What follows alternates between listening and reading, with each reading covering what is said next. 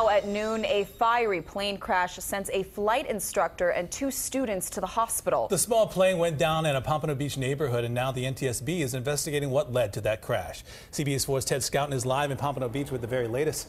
Hey, Ted.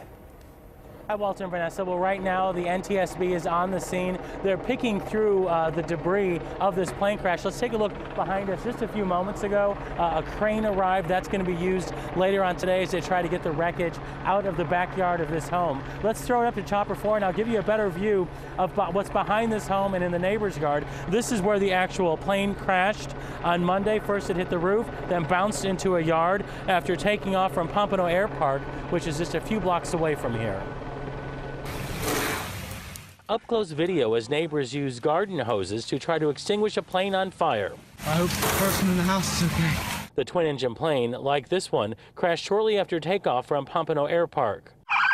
The plane crashed into a fireball after hitting the roof of one home, bouncing, then coming to rest in the backyard of another home. I thought I was going to see dead people in the backyard. Three people were on board. We understand one was ejected. Everyone survived while was severely burned. We've learned one victim is Sylvia Coelho. She and the others are in critical condition at Jackson Memorial's burn unit. Investigators want to speak to them. What's going to be good about this is that we have three witnesses who are actually on board the airplane.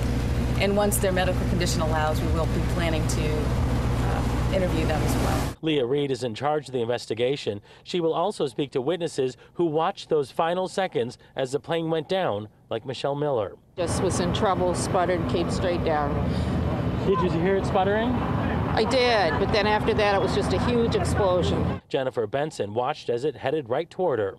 It came in this way, turned that way, and then the plane tipped this way, hit the corner of that house, and exploded and then it went, it like jumped and then went through the backyard.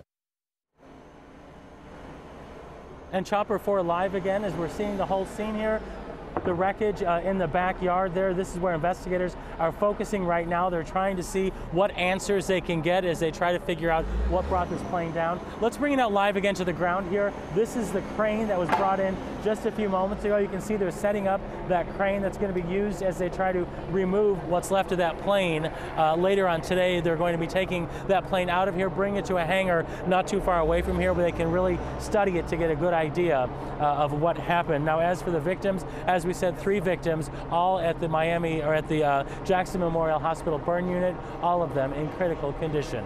Live in Pompano Beach, Ted Scouten, CBS 4 News.